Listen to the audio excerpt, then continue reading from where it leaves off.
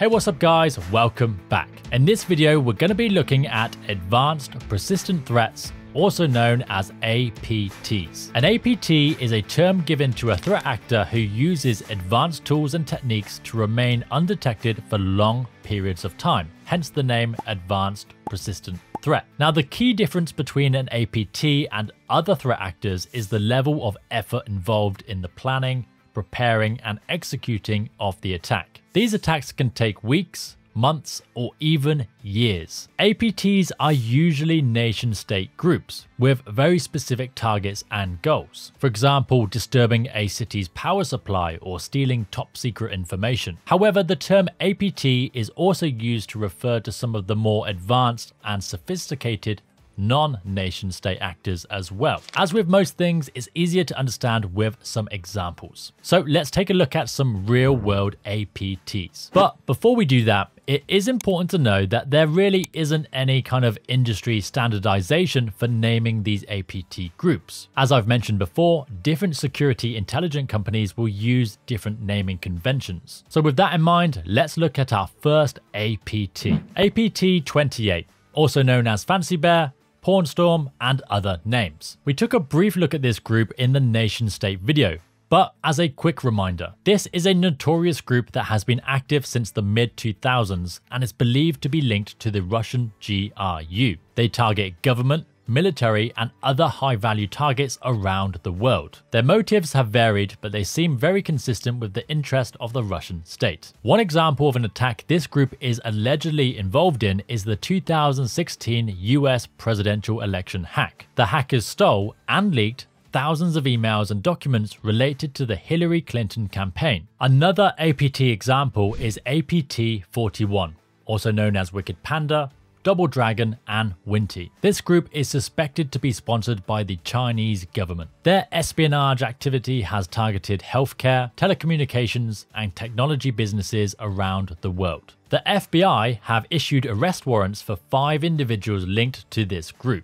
They are believed to be responsible for a hack on TeamViewer, a popular remote access tool. What makes this group interesting though is that aside from their state sponsored espionage, they also seem to have a financially focused side hustle targeting the gaming industry. Attacks on virtual currency and ransomware attempts all seem to be self beneficial for the group rather than in the interest of the Chinese government. Fin7, also known as Carbon Spider, Elbrus, or Sangria Tempest, is a Russian criminal hacking group. They initially targeted hospitality, restaurants, and retail companies using specially crafted phishing emails to gain initial access. Once they compromise a target, the group uses malware and other techniques to maintain persistence, exfiltrate data, and move laterally across the network. Later, the group expanded into large value ransomware attacks. Now, an interesting tactic that Fin7 is known to use is called a bad USB. They would send a physical USB drive to their target and include a convincing note designed to get the user to insert the USB into one of the computers. One of these bad USBs was sent with a fake gift card from Best Buy. The note explained that the list of available items was on the provided USB. But this is not a regular USB drive. Once a bad USB is plugged in, it emulates other types of devices, such as keyboards which can then be used to automatically run malicious commands on the victim's computer. Three Ukrainian nationals have been arrested and convicted in connection with Fin7. However, the group still remains as active as ever.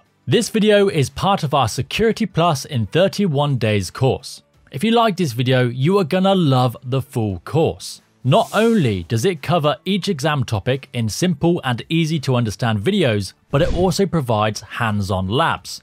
These labs guide you through practical tasks like creating Trojans, cracking passwords, and sending your own phishing emails, giving you real-world experience and making your studies that much more engaging and effective. It doesn't stop there though. You also get a copy of our Security Plus in 31 Days ebook, which follows the course and covers each topic. You'll also get access to helpful downloads to support your learning, a private community where you can connect with fellow learners, and exclusive discounts. It really is the complete package to guide you through your Security Plus journey. Check it out in the description below. So there we have it, APTs, a term used to describe advanced attackers who often go undetected for long periods of time, usually linked to nation state actors, but that's not always the case. Let's end with a couple of quiz questions. Question 1. What is the key characteristic that differentiates an advanced persistent threat from other types of cyber threats? Is it A. APTs only target financial institutions? Is it B. APTs use advanced tools and techniques to remain undetected for long periods? Is it C? APTs rely solely on physical attacks? Or is it D? APTs primarily focus on quick attacks for immediate gains?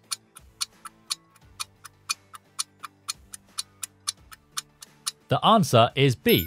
APTs use advanced tools and techniques to remain undetected for long periods. APTs are known for their advanced techniques and their ability to stay hidden within a system for extended periods, unlike other attackers who may focus on the short term or immediate impact. Okay, so question two. Which of the following is not typically a goal of an APT?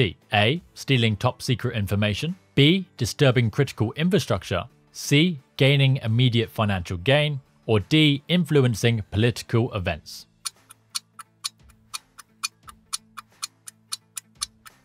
The answer is C, gaining immediate financial gain. APTs are usually focused on the long-term strategic goal such as stealing sensitive information, disturbing key infrastructure, or influencing political outcomes rather than the quick financial gains. If you like this video, don't forget to give it a thumbs up, leave a comment and subscribe.